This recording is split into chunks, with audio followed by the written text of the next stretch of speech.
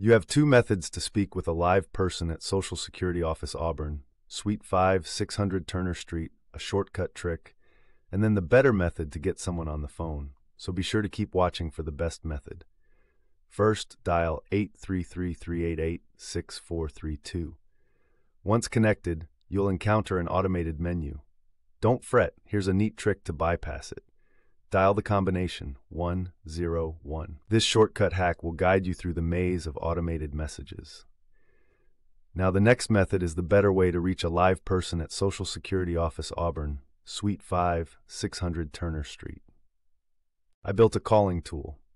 To use it, open up your browser, go to claimyr.com, and search for the Social Security Office Auburn Suite 5, 600 Turner Street option.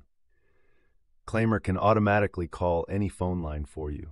It'll connect you directly to a human at Social Security Office Auburn Suite 5, 600 Turner Street. It dials the number and stays on hold for you while it waits for an agent to take the call. When it detects an agent, it'll send the call to your phone.